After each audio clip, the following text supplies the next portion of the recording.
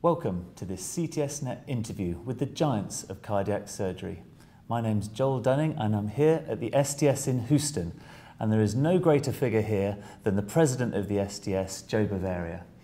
Thank you very much for coming to talk to us. Thank you, Joel. Uh, You've been a very active president this year, and, uh, and your theme uh, has been very strongly of collaboration and innovation uh, at the heart of your term.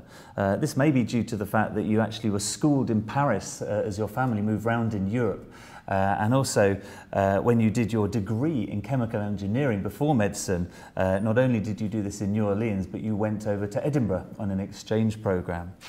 Uh, you did your residency in uh, the Hospital of the University of Pennsylvania in Philadelphia, and you're now the William Moore Measey Professor in Surgery and the Director of the Thoracic Aortic Surgery Program at the Perelman School of Medicine at the University of Pennsylvania.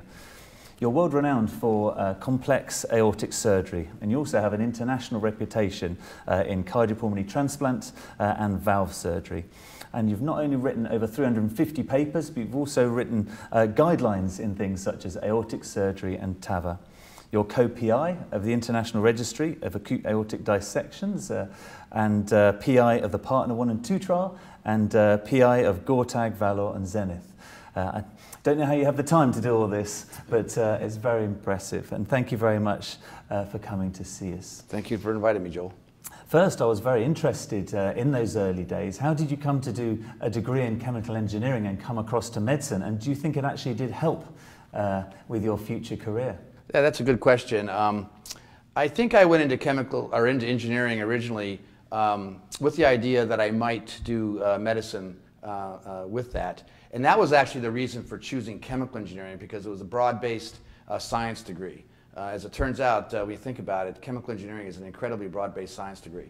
Uh, so uh, that was one of the reasons why I chose it. I come from a family of engineers, however, and so it was, uh, it was always in the back of my mind that the there was a possibility that I, that I would go into chemical engineering. Uh, and I did go to Edinburgh, Scotland. At, at that time, uh, the North Sea oil fields were ripping and roaring, and it was a great time to be a chemical engineer in, uh, in Scotland, in Edinburgh. and, uh, and as you progressed in medicine, who were your main mentors? Who did you most look up to uh, in your past? Well, uh, the first major mentor was L. Henry Edmunds. L. Henry Edmunds, or Hank Edmunds, was the chief of cardiac surgery at Penn for many years during the 70s, 80s, very early 90s. and he was the one who got me started uh, in this business. He's also the editor of the Annals of Thoracic Surgery for 15 years. And then after that, uh, my main mentor was uh, Timothy Gardner, Tim Gardner, who was president of the ATS in 2002. Uh, and he um, was someone who really taught me how to be an academic cardiac surgeon and uh, really took me uh, from when I was a ju very junior attending surgeon. So I have a lot, a lot to, I owe them both quite a bit. And, uh, and you run the uh, database on aortic dissections. You have a tremendous amount of experience with stenting. I just wonder if you could share with us your view of where are we going to be in 10 years' time with acute aortic dissection? We're already type B treating a lot. Will we go further? Will we get type A? Uh, yes, so as you know, and as you alluded to, type B dissection is, is at the point basically at this, at this stage where the primary treatment of choice is TEVAR. There is a, a, subset of patients in the chronic phase of type B dissection uh, where TEVAR, there's a pretty, you know, there's a, there's a balance between open surgery and TEVAR. And eventually it will go more towards uh, TEVAR even uh, in, the, uh, in the chronic dissection uh, cohort for type Bs. In type A dissection, it's going to happen in two big stages. The first stage is going to be a primary open operation for type A dissection, mostly because the proximal operation, especially at the level of the valve, is required at this time. There's no endovascular solution that is good enough um, uh, at the valve and at the proximal ascending aorta. So, so the way I see it is we're going to have, uh, for the next 10 years anyway, uh, probably very, still very significant um, open surgery for the proximal aorta. However, uh, we know very well now uh, that the arch and the distal uh, aorta, the descending aorta, do not do well after type A dissection. In other words, the natural history of it is uh, of these aortas is unstable. So my opinion is is that we're going to see a dramatic increase in the number of what we call completion TEVARs. Um, they're either going to be done at the same time as the original index operation, for example, with one of the uh, stented elephant trunks uh, operations. Uh, there's a number of stented elephant trunk procedures out there. Or there'll be a short, uh, uh, what we call a sequential TEVAR in type A dissection. So to the answer to your question is, is TEVAR will be used a lot, especially coming up in the near future, for uh, completion type A dissection repairs to get a really good, solid uh, completion repair. As, as, as, far as primary therapy for type A dissection, it's a decade away. Uh, and this means uh, TEVAR of the ascending aorta directly down into the root. This is something that's being worked on a lot. It should be remembered that, uh, that 80% uh, of all money, all capital resources going into to TEVAR today is, is, is at the uh, proximal aortic surgical level by Cook and by, by Medtronic and by Gore and all the, all the industry. Wow, might save us from the middle of the night it dissection. Might, yes, and uh, right. wow, um, in your presidency, you set three main goals. Uh, the goals were innovation and education, uh, collaboration and connection, and quality. Three very strong goals. And I wonder if we could spend a little bit of time on that because you've actually advanced very significantly in all of those. Maybe if we could talk first about collaboration. Uh, I wonder if you could share with us the collaborations you've uh, you've fostered, especially perhaps EACTS uh, across the Atlantic. Well, we certainly uh, have, uh, and I, this is one of my personal things, being uh, having been you know, brought up in uh, Europe uh, as an American early on in my, in my life. But um, we have uh, a number of EACTS, EACTS collaborations. Um, the first one that we, was recent is having a collaboration in China. we recently um, had an EACTS STS collaboration with the Chinese Association Uh, uh, in uh, Xi'an, China, and this will be continuing next year as well, or actually this year, uh, in, in China. Um, where we had uh, multiple members of, of, the EACTS and the STS together uh, as a contingent uh, in China. we're having a large South American program. This is an STS EACTS program that we're doing together with the Latin Americans, especially Spanish speaking Latin America, uh, and, and the first one will be in September uh, in Cartagena, uh, Colombia. So this is another collaboration with EX, and also a collaboration with some of the South American local societies. So this is, uh, uh, and also at the EAC, EACTS level, at the database level, um, we're, we're uh, becoming more and more collaborative at the database level as well as outcomes and things of that nature. Yeah, and something in presidency that's taken great strides is links with the AATS. Uh, I think there's collaboration, there's going to be collaboration with guidelines and many other things. Yes, it doesn't make any sense uh, for guidelines, especially, which are being utilized by all the cardiothoracic surgeons in the entire world, basically, to be uh, emanating out of only one society uh, and, or having competitive guidelines. It's, it's, it's really kind of semi idiotic. So the AATS and the STS came together at, at, the highest levels to make sure that this was not uh, part of our future. Uh, and this is a recent uh, collaboration.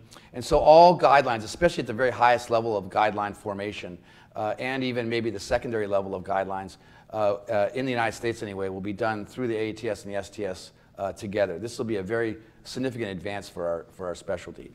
Yeah, no, that's absolutely wonderful.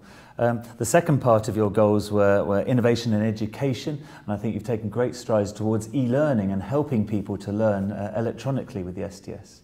Well, um, so the STS absorbed the Joint Council uh, recently, and uh, we have a, you know, the, the goal is to be able to utilize the internet at its full capacity and the digital revolution in, its, in, in a full uh, manner. Uh, so we're wrapping around that completely as far as uh, learning platforms for residents and, and, and, and, and at, the, at, the, very earliest level of, of cardiac surgical careers, as well as later on.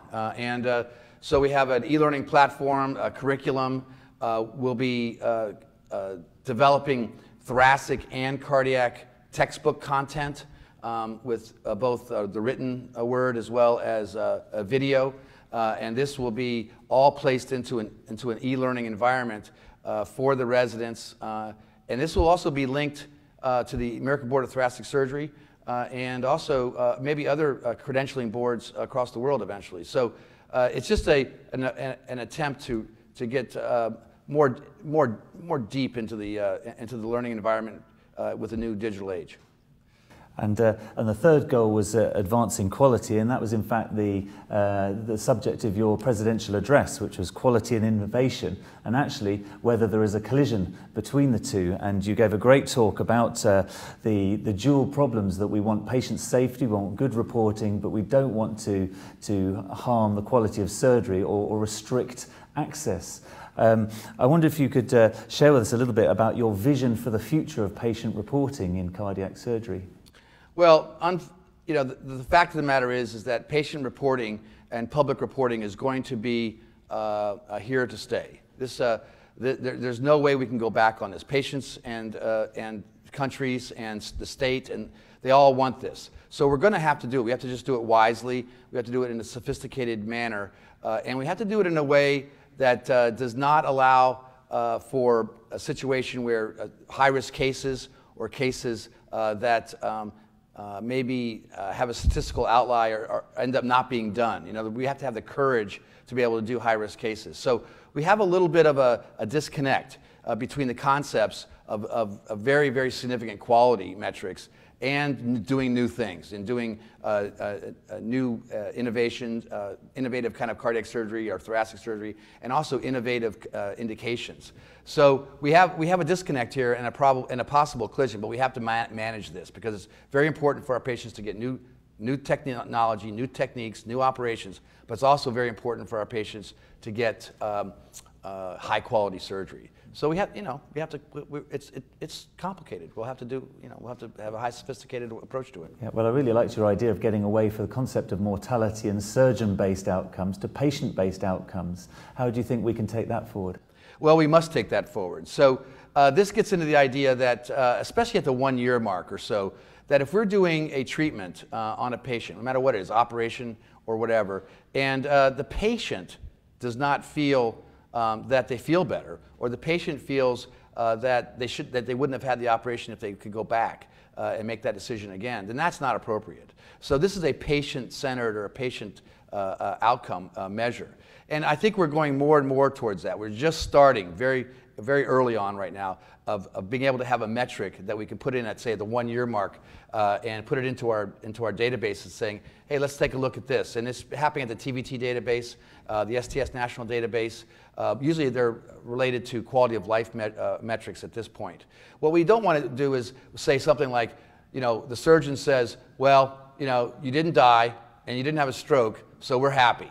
Well, the patient may not be happy with the whole operation. So we have to have, you know, we have to have a balance between the way we report these things. The patient, patient-centered metrics are, are, their time has come. Yeah. So maybe taking a step back, if, if somebody came to you and asked about uh, some career advice, perhaps a son of yours or something, and said, you know, you know, how was your career and what would you recommend for young and up and coming people? Is it a good career? Oh yeah, I think uh, cardio, cardiothoracic surgery uh, has an outstanding future, um, and there's a lot of reasons to, to believe that that's the, the, the, case. Now, I don't know, I'm not a thoracic surgeon, so I can discuss uh, the cardiac side.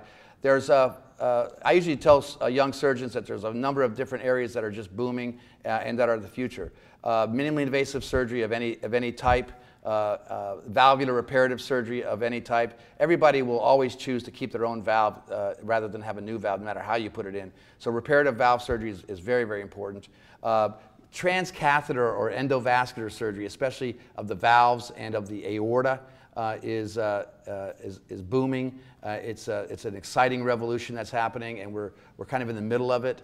Uh, and so I think all these areas are, are, very, very important. And frankly, one of the most important ones that's very exciting and, and, is something I tell young surgeons as well is the, is the treatment of heart failure. Um, and we have new circulatory assist devices, we have new left ventricular assist devices. Uh, and uh, these are getting better and better. The trials are, are astonishing. Uh, and I see a future uh, of, of, of, really excellence in, in our treatment of, of, congestive heart failure uh, surgically. Well, it's been a pleasure talking to you. Just finally, Kate, your perfusionist, tells me that uh, the best way to do a circulatory arrest, uh, distal anastomosis, is with rock music. Uh, so, so which track is best for doing that uh, circulatory arrest part? I, I personally like Aerosmith. Aerosmith is best. Yeah. Well, fantastic. Thank you very much for coming to talk to us, and thank you very much for your outstanding presidency this year. Thank you to CTSNet. Thank you very much.